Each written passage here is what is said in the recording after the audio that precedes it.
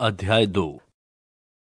अब मैं सबसे पहले ये आदेश देता हूँ कि विनती और प्रार्थना और निवेदन और धन्यवाद सब मनुष्यों के लिए किए जाए। राजाओं और सब ऊँचे पद वालों के निमित्त इसलिए कि हम विश्राम और चैन के साथ सारी भक्ति और गंभीरता से जीवन बिताए। ये हमारे उद्धारकर्ता परमेश्वर को अच्छा लगता और भाता भी है।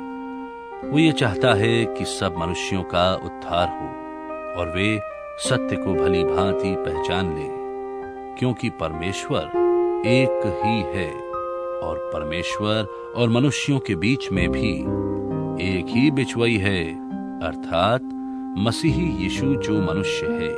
जिसने अपने आप को सबके छुटकारे के दाम में दे दिया, ताकि उसकी गवाही ठीक समयों पर दी जाए। मैं सच कहता हूँ, झूठ नहीं बोलता कि मैं इसी उद्देश्य से प्रचारक और प्रेरित और अन्य जातियों के लिए विश्वास और सत्य का उपदेशक ठहराया गया।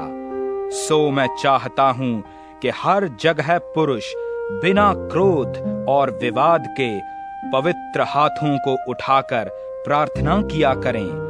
वैसे ही स्त्रियाँ भी संकोच और संयम के साथ सुहावने वस्त्रों से अपने आप को संवारें, न के बाल गूंथने और सोने और मोतियों और बहुमोल कपड़ों से, पर भले कामों से, क्योंकि परमेश्वर की भक्ति ग्रहण करने वाली स्त्रियों को यही उचित भी है।